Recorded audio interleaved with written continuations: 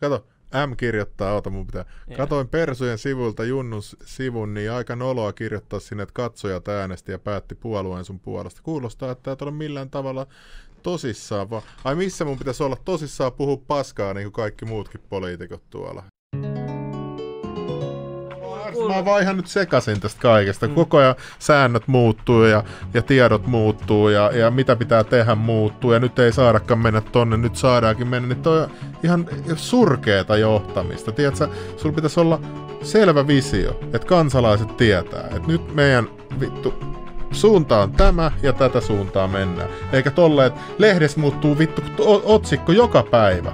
Voisiko uutisointi olla sellaista asiallista ja, ja semmoista niin kuin informoivaa? Että mua ärsyttää, että tänne pitää pyytää tällainen kuin superlääkäri, megajohtaja, Ei niin. ennen kuin mä saan niin kuin vastauksia. Ja niin kuin, et, et, musta tuntuu, että ainakin joku 99 prosenttia ihmisistä haluaisi, että et, et tietää, mitä tulevaisuus tuo tullessaan.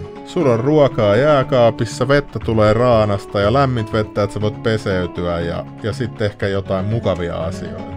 Niin nyt ei kukaan ei tiedä, mihin suuntaan me ollaan menossa yhtään. Sitten ää, Marin laittanut jo kulisseissa ulkona liikkumiskielon pykälät valmisteluun. Katso. 16 teholla ja ulkona liikkumiskielto.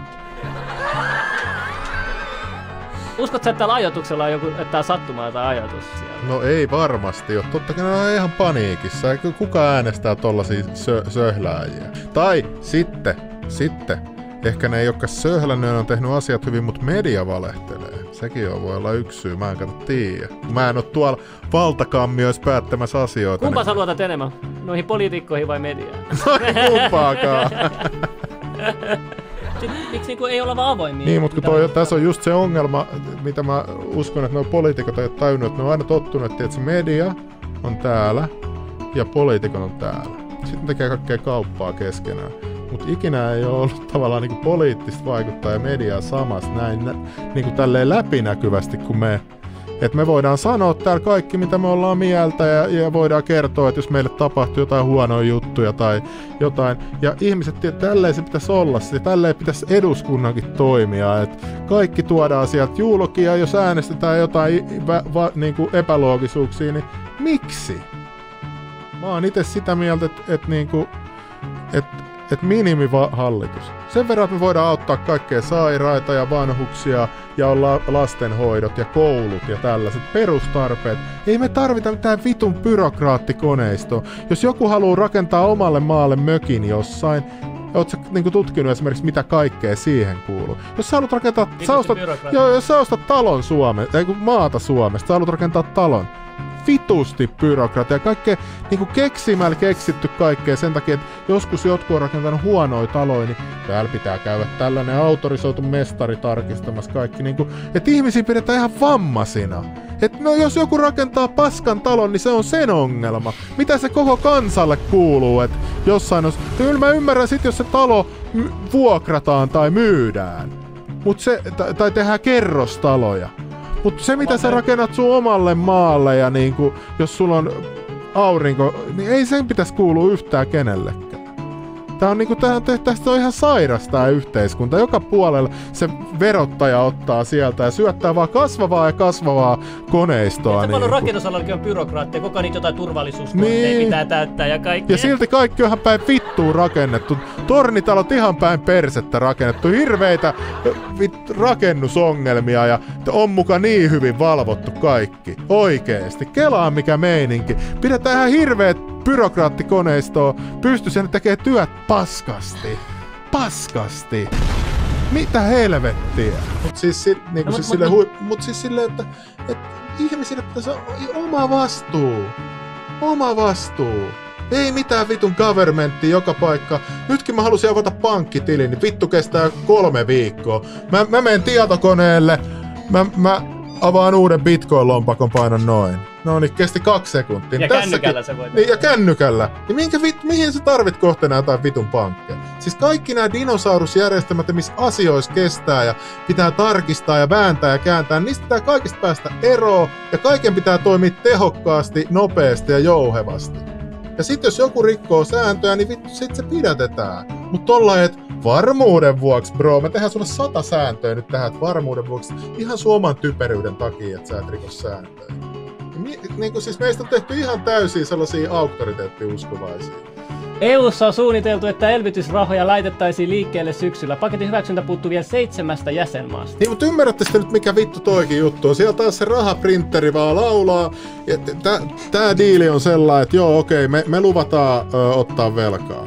No mistä se velka tulee? No se vittu printeristä. Teillä ei ole rahaa vittu. Vuokraa, teillä ei ole va- rahaa ruokaa, teillä ei ole rahaa. Vittu mennä teidän lapsen kanssa vaikka johonkin ulos. Mut hei, bro, valtiot voi painaa vaan loputtomasti rahaa ja jakaa niiden frendeille, ja sit me ei saada siitä mitään. Mut hei, ei kun turvealan yrittäjät sai printeristä tuli ulos, mitä ne sai 50 milliä. No niin kusessa, kun on nyt kusettanut niin monta vittu vuotta oikeesti. Mihin sitä ei johda, tää johtaa aina ostaa, noi tulee häviin loppujen lopuksi. Tuolla on vittu maalaisia koko saatana Pohjois-Suomi täys, niillä on niin vitusti aseita. Ei sehän mä, en, niinku, mä en ymmärrä, että minkä takia pitäisi yrittää ottaa tällaista helvetin riskiä, tietsä. Noi maalaiset, kun päättää, että vittu tänään Helsinki palaa, niin se palaa sinä päivänä. Sille ei voi mitään. Vittu poliisi, ei armeija eikä kukaan. Ja se, se mua pelottaa tässä ihan helvetin. Se on mun suuri uhkakuva on se, että vittu maa, maanviljelijät suuttuu nyt kaikkien tämän vuosien vittu kuristuksen jälkeen. Ja ne- ne tekee samat kuin 90 mutta vaan vitusti pahemmin. Mitä ne, niillä on enää tekemistä, jos niiltä on viety vittu rahat ja niiltä on viety niiden maatilat, niiltä on, Mites ne ei saa- EU-maatalous ne, tulee? niin, EU-maat, ne ei saa vittu pitää pieneläin mitään tällaisia, näitä, kun ne ei ole tehokkaita ja niiltä ei saa niin hyvin EU-tukea. Kaikki on, koko maaseutu vittu tärvelty. Kommentti ei tässä näin pitänyt käydä. Ranska ja Italia haluavat jo kasvattaa EUn elvytys. No niin! Kertaluontoinen. kert- ei, Tiukka ei, eihän tää nyt vittu näin voi mennä, että saan meille sanotaan, että on kertaluontoinen paketti ja heti seuraavalla viikolla sinne lapioidaan lisää. Miten röyhkeitä Ei, perseestä. Siis tää on ihan naurettavaa. Ja sit pistettiin se joku Urpo twiittaa suomeksi. Joo, ihan oikeesti tää oli kertaluontoinen, vaikka eilen sanoin. Siis ei vittu, siis tää, tää oikeesti tää maa ansaitsee että Mä en enää, niinku enää voi muuta sanoa. Jos meillä olisi hyvä hallitus, se sanoisi, että moro, että meillä on vitusti, vitun iso armeija mm. ja me ei makseta mitään. Vetäkää käteen.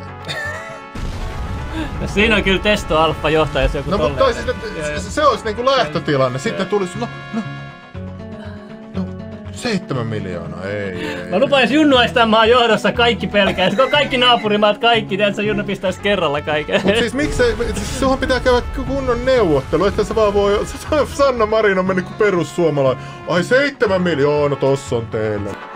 Joo, mutta tällainen on meidän Suomen johdossa. Varmasti suomalaisten Miksi tää vaan hallitus ei oikeesti ole ero? Mä kattoo tätä vitun pelleilyä? Maat petetään ja ei oo enää kotiuskontoa ja isänmaa. Siellä se vitun mannekiini vielä on. Niinku, mi- mitä helvettiä Suomessa tapahtuu? Kuka ei enää ero? Pekka Haavisto ei ero, tekee rikoksia. Tää on ihan pelleily. Miksi mäkään noudattaisin enää lakia? Miksi mä maksasin yhtään veroja enää on mun kysymys? Kun näet pellet tekee ihan mitä nää haluu. Oikeesti, mitä vittua? En mä tiedä. Ehkä mä oon vaan hulluukko.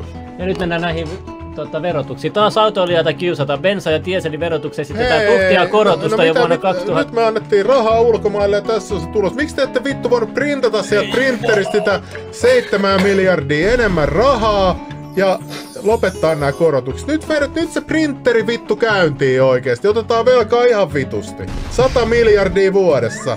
Ja kulutusjuhlat pysty. Mitä siellä on väliä enää, kun se on ihan vessapaperi se vitun raha. Nyt pistetään printeri päälle oikeesti. 2023 Slimmillä valtiovarainministeriksi. Ja printeri laulamaan. Siinä mä sanon oikeesti. Printeri meiltä 100 miljardia velkaa vuodessa. Joo, vähintään. tu- tulostetaan juutalaisittain. kato, kato, myös uusi työssäkäyntivero uhkaa. Mikä helvetin työssäkäyntivero? Eikö meillä ole tarpeeksi verotusta tässä Mikä Työssäkäyntivero. työssäkäynti, ei Työssäkäyntivero. Ei kun tää nyt pitää oikeesti lopettaa tää pelleily. Täällä on jo korkeimmat verot. Tiedätkö paljon mua vituttaa maksaa veroja? Ja sitä vaan nostetaan ja nostetaan. Et sit sehän tarkoittaa, että nää tekee asiat ihan päin vittuu, kun veroja nostetaan. Ah, Ja mitä muuta se tarkoittaa? Että hallitus hoitaa huonosti mm. asioita, koska sen pitää nostaa veroja. Jos hallitus olisi tehnyt hyvää duunia, niin se laskisi veroja ja näyttäisi kansalaisille, kattokaa, me ollaan tehty hyvää duunia. Sitten tää oli tää, että, että väitti pandemia olevan ilmastonmuutos. Näin No kun toi on ihan botti muija. Tää on se seuraava kusetus, mikä sieltä tulee taas, joku vitu ilmastonmuutos. Että et, et me unohdettaisiin tää koronakusetus. Toi on ihan järjetön. Noi tilastot on täysin manipuloitu. Tää on niinku, toistuu koko ajan. Korona, tauti tappaa ihmisiä, mutta ne inflatoidaan ne arvot johonkin vittu tuhatkertaiseksi. Vihreä jutut, Joo, hirveet saasteet lähettää vittu kaikki johonkin Kiinaan ja Saksaan ja tonne, että ne ei näyttää tilastoissa. Et ne, ne on niinku Niin. systemaattisesti Mani- kusettaa... Tai se turve. Niin, systemaattisesti kusettaa noissa tilastoissa jatkuvasti uudesta ja media ei tee mitään, koska ne on kans ihan korruptoitunut. Ajattele, kun sä opetat lapselle, että joo, täällä on tämmönen kaljupäinen setä, että se luo la- rahaa tyhjästä ja me, la- me lainataan ja me maksetaan sille korkoa siitä. Tää on hyvä diili. Ja se lapsihan sit sä oot ihan idiootti. Oikeesti me lähettää miljardi vittu johonkin ulkomaan Afrikan lordeille rahaa joka vuosi. Ja sit meillä ei ole rahaa lasten mielenterveyshoito. Ei ole rahaa. Niin. Sä soitat sinne keskuspankkiin, moro, printatkaa 20 miljardia lisää. Niin kuin nyt pitäisi lopettaa jo tää esitys, että meidän pitää pitää joku budjetti kasassa. Vittu printeri laulamaan saman tien. Ja tänne suomalaisille sitä helikopterirahaa, eikä millekään megakorporaatioille tonne. Sitten Ei. Marja Ohisalo Tässä mä just sanon, kattokaa näitä vitun vihreitä. Bullshit! Kaikki on paskapuhetta noi vitun ilmastohommat oikeesti. Hyvällä tsäkällä se on vielä se sen miehen polttoaineyhtiö. Niin, ihan varmasti onkin. Kun siis mä oon se... On ST1 Siis- yhteys. Se on S- Kato! Miten läpinäkyvää tää on? Kato! Kato! Hommannut oman miehen firmaa sen avustaa. Nyt sä teet hyvää työtä, hei mun miehellä. on- Siis tää on ihan sisäsiittosta Tää on sitä, kun ei voi näin kohta kritisoida näitä, kun tulee terrorismilaki ja kaikkea muuta. Sinne Niin, voi näin röyhkeästi, niin. tiedätkö, tehdä tällaisia asioita. Kuka ei voi kritisoida. Joku vihreä nyt taas kertoo ystävällisesti, vaikka twiittaa tai laittaa viestiä, että miten tää on nyt taas mahdollista. Et sä voi perustella tätä y... Siis tää on ihan... Siis... Mä, mä katsoin tuossa yksi päivä taas Parpapapaa vielä, kun se oli Netflixissä. Ja siellä oli hirveä hätä nyt vittu ympäristön takia, kun, kun siellä tuhotaan ja sitten ne jotkut y- y- noi ice capsit jotain. Et siis sitä paskaa, mitä on ollut niinku ihan monta kymmentä vuotta. Ne aina vaihtaa sen syyn, hommaa sinne joku uuden mannekiinin, lässyttää jotain roskaa. Niinku, ihmistä oikeasti pitää nyt vaan lopettaa, että kun, kunhan me eletään vastuullisesti meidän omassa maassa, niin meidän tarvitsee että vittuuka mitä ulkopuolella siis silleen tapahtuu. Jokainen maa on, on niinku vastuussa omista jutuistaan. Ja yleensä jos joku maa tekee jotain hirveyksiä, niin sitten sinne menee yleensä sellainen kuin Amerikan imperiumi menee sinne ja vie vähän demokratiaa. Tai dollaria. Niin, niin ja dollaria. ja uuden keskuspankin. Ni, ni, s- et, et jos se... Ja, ja ne menee muuten, muutenkin sinne, mutta siis...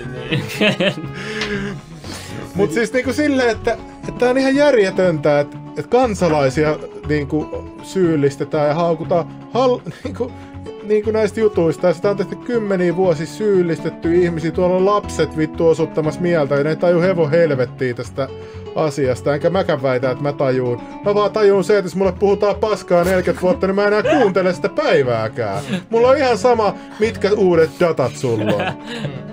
40 vuotta paskan puhetta. 50 vuotta, 70-luvusta asti. Joo, siinä oli kaikki Yes. Uhuh. Hienoa, että selvisitte tähän asti.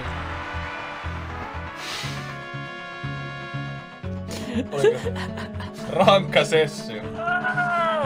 On tää sunnuntai leveli kyllä aina huikea. Tääkin alkoi yli yhden- kolme tuntia sitten, eikä ole yhtään huomannut, mitä aikaa on mennyt. Siis kun tää on ihan käsittää, ajattelen joka viikko tällä kolme tuntia pelkkää korruptio. Kestää kolme tuntia käsitellä korruptio, kun sitä on niin paljon. Viikon. Joka viikko. Kansaamme on kehoitettava yhtymään lujaan taistelurintamaan tekemään Juhana Wilhelm Snellmannin osoittamaa kansallista ja kansan kokonaisuutta rakentavaa työtä ja pysymään sillä isien uskon ja suomalaisen elämän katsomuksen pohjalla, jonka kaikki suurmiehemme ovat hyväksyneet ja joka pelastaa kansamme vielä tämänkin kerran joutumasta siihen kuiluun, johon vihollisemme kaukaa ja läheltä tahtovat meidät syöstä.